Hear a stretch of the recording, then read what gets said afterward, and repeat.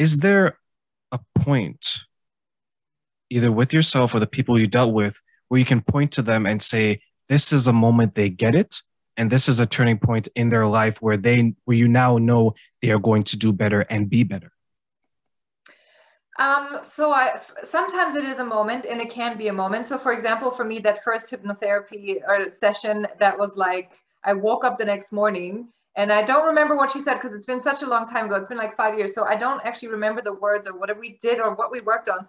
But my mind was just like, Jenny, you're going to leave LA and you're going to start freaking working while traveling. Uh, uh, yeah, working while traveling. You're going to do that. And there was no turning back. So it can be a moment, it can be a single session. But what is beautiful is, and my clients have that, all of them. But what, what is beautiful is that they actually, over time, there's so many moments when they realize, oh my God, I worked on this like two months ago, and now the epiphany is coming. So it's your mind, your subconscious mind is working underneath whatever it is that you're consciously experiencing. So the epiphanies can happen happen even two months later, which is beautiful. But sometimes when you like um, go into a session and when you ask for a person's purpose, like when I found my purpose, then all they said was your purpose is learn and teach how to love.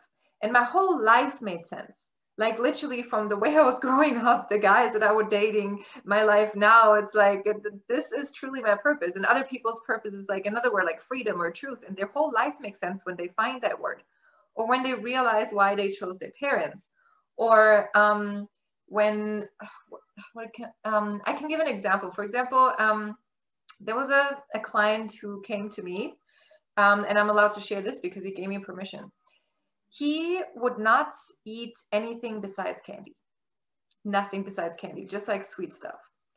And he wanted to change that. So we went into the session. In the first session, we found out it was because of the way his parents treated him. His dad made him promises that he never kept. So the little boy, he also wanted to, um, when he was saying, Yeah, I'll eat that, that other thing other than candy. Then he made a promise that he never kept because he didn't eat it. He just ate candy instead. And then his mom, um, she, what was it with her? There, there was something also with his mom that was going on because he just, oh yeah, so the candy, he felt like it also gave him warmth and love. That's why he would just eat that.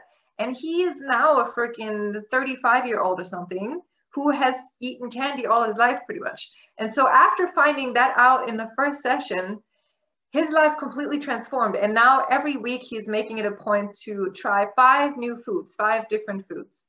And it is beautiful to see. Or another girl that had um, issues with procrastination um, comes out that for her, procrastination meant not receiving love or something because when she was a child, her father would um, he would play a game with her whatever. And so she would she would she would have the love actually. And and not doing that thing would give her the love. But when she did the thing actually like right away she would not have the love. So it's not that procrastination didn't mean not having love but it meant having love from her father.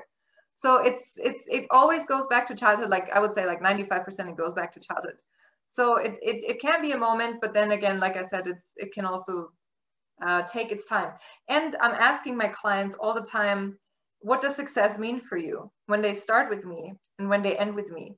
And so when they start with me, it's like, you know, a paragraph, it's really long. And then when they end with me, it's just like, basically, I want to be happy, or it, it means happiness, or it means just, you know, living my soul's purpose. And it's such a short, precise thing that they now know, okay, this is success for me. And it's beautiful.